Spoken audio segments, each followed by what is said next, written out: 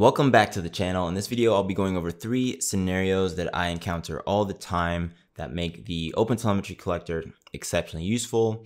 Uh, the OpenTelemetry collector is something that I think everybody who is adopting OpenTelemetry should consider using. So let's go ahead and jump right in. The last thing I'll say before that is that my name is Forrest. I've been here around two years, have a background in full stack engineering, and have spoken with literally thousands of engineers. So if you have a situation that you think is special, uh, it probably isn't, but either way, I would love to meet with you and talk to you about your observability needs. Uh, you can reach me. My email is forrest at lightstep.com. Let's jump in. So let's first just do a quick little refresher on what the OTel collector is. It's just a pipeline tool. We'll draw a, a super simple distributed system. Let's say we have some service A, some service B, uh, some service C, and some service D, right? And let's say they have a relationship like this, right? Uh, data goes back and forth, whatever. We have our backend system, and then we have some service F, which is our front end, which sends request to our gateway, which is service C. So this is our distributed system. Uh, pretty simple. Real distributed systems, each of these services would be horizontally scaled, maybe deployed in different regions, things like that. When we run the OpenTelemetry collector, we, we might run it as a sidecar, right, as an agent, where each one of these services essentially has an OpenTelemetry collector adjacent to it, right? And then all of these little collectors could be sending this data to a big collector, which we'll call OTel collector over here. And it'll have some set of properties, right? So it has some receivers. I apologize for my handwriting. Uh, it will have some exporters. And it will have what we'll just call some pipelines. Okay. So reason number one, uh, really scenario number one, why you'd want to use the OTel collector really is shown here, right? So service A and service B could be emitting telemetry in a few different formats. We could call this proprietary one. We call this proprietary two. The receiver's job to take that data, turn it into the OTel collector's internal format uh, to prep it for export. Then from there, we can do a ton of things. You might be already sending that data to, uh, let's say, Jaeger, right? So I'm sending the data to Jaeger. And if I want to add a new location, add another vendor such as Lightstep, because I, I now want to not just look at my data using Jaeger, uh, but now analyze my data and generate insights from it so that I can reduce MTTR, my teams can work better together. Uh, many of the things that you know all of our customers have done. Uh, we serve some of the largest uh, I'd say services uh, in the world, uh, software that we all use every day, right? Are, are our customers. Uh, doing that is super simple. I can just add an exporter. Uh, and to do that, to send your data to Lightstep, you actually can just use the OTLP format, which is just the open source format. So there's no Lightstep exporter. We're fully open source just by using the out of the box export, which is OTLP. We'll kind of just denote that, which is out uh, of the box uh, send the endpoint, and set the endpoint to ingest.lightstep.com. Make sure you have an account first, and you're basically done. So you're just adding a few lines to a configuration separate from your services to get your data to a new endpoint. So that's great. It's super simple. That's scenario number one. And kind of just to clean this up, I'll show what that kind of would look like. So if I erase some of this kind of note annotation, what it would actually look like is I have an exporter section. I would add OTLP, right? I would add an endpoint here. This would be ingest dot lightstep.com. Uh, and we actually have an access token. So you would add some headers, right? And the header you would set is, you know, I'll just do lightstep access token abbreviation. And this would be, you know, some string. That's it. So you add this block and you're done. You don't have to change your services, the engineers. There's zero work on the engineering teams who are developing these services. Um, there's a, a little overhead to the person who is managing your pipeline, right? But really, anybody can do this work, right? This work right here can be done by anyone because it's so simple uh, and it's not really going to affect anything else. OpenTelemetry Collector is designed to export data to multiple backends. So that is scenario number one is sending data to a new backend uh, pretty simply. Okay, so scenario number two is kind of similar to scenario number one in that you want to do some proprietary analysis.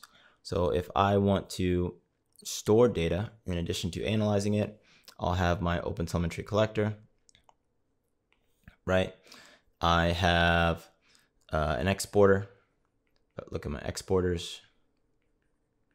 I'm sending it to Jaeger, right? I'm sending it to Lightstep.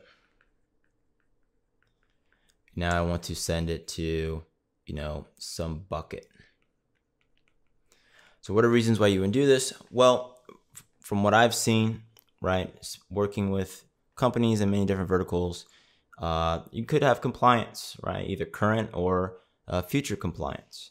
If suddenly the compliance arm of your organization says, hey, we actually need to store uh, this data for the next 10 years, well, that's not something that is necessarily best uh, you know, used for Lightstep, right? We are the best platform for helping you understand the performance of your distributed systems and doing root cause analysis on those systems. But if you just need to store a bunch of data so that you can look up some individual number, you know, eight years from now, that's not an observability use case. That's more of an audit use case. Uh, and the OTel collector makes that super simple. Without this, what you end up doing is managing proprietary pipelines where you're sending data to your vendor you then have some pipeline to send data to your long-term storage. It's not standard. The formats are likely different. And now you are in the business of managing and engineering data pipelines, which is something that you do not want to do. OpenTelemetry literally exists so that you do not have to do that. Uh, I guarantee you, you will be reinventing many wheels. Uh, it won't be fun for the people who are working on it, and it will just be a drain on your engineering organization. But let's get back into something more positive, and that is scenario number three, which is actually truly a different scenario, and that is uh, doing CRUD on this data in transit, right? So imagine I'm an engineer. Uh, I own Service C on the left side of the screen here. I've developed it. I've done whatever. And then someone says, Forrest, we want to add attributes for the geolocation that the service is deployed in uh, so that we can use that in Lightstep. We want to be able to slice and dice our data based off of the geography. There's a few ways that we could do that. I could either dynamically with instrumentation add that to the service and it could go and fetch some information about its environment if we're passing that or making that available to the service at runtime. A better way to do that though, or a different way, uh, which I think is better, would be to do that at the collector level itself. So if we have service C here, service C here, service C here, and these are actually segmented into different you know geographies and where service f could be doing this right uh, to different uh, instances of service c's in different geographic locations or whatever the you know way you're deploying your data is in our collector. We go back to our collector config we can now use something called a span processor Span processors are great because we can do all types of CRUD to our data. So instead of me as the engineer having to worry about where my application is deployed necessarily, the person who is taking my application and is adding all these different layers to it, depending on how it needs to be containerized and deployed, uh, they know where it's going. And the OTel collector specifically knows, you know, really where it is and where that data is coming from. So if I have an OTel collector in a different region, for every span that comes in, I could just say add some attribute, right? And that attribute could be the geography that I'm in. I could remove some attribute, right? Let's just say that that compliance part of my organization comes again and says, hey, we want to remove all data that looks like this. Well, super simple to do at the collector we can transform an attribute. Data obfuscation, classic use case. We can do this at the collector layer. So you are not mucking up your application code, right? You can deal with the data in a format that makes sense where it is, and then obfuscate it later, actually in a different tire layer. And you can actually do that in your telemetry layer itself in one collector. And because you can use collectors themselves in layers, right? We see we have these OTel collectors running close to our services. We can obfuscate the data there. We can obfuscate the data at this general collector layer. There's tons of ways to do it, but the OTel collector is designed for this. The collector is your pipeline tool. So when you're thinking about data pipelines, you're thinking about how do I transform my data, modify it, get it to different backends, batch it, do whatever. Look at the OTel collector. It was designed for this. Uh, if you have other use cases or questions of what the OpenTelemetry collector could be used for, definitely do reach out to me or anyone at Lightstep. We are one of the co-founders of OpenTelemetry. We have a ton of knowledge in this space. If you found this useful, please do hit the subscribe button. Check out our other videos. We have tons of content related to OpenTelemetry, observability, our thoughts, uh, our thought leadership in this space. Uh, and they're all things that I think you could find useful. In any case, I appreciate you taking time to watch this, and I will see you in the next one.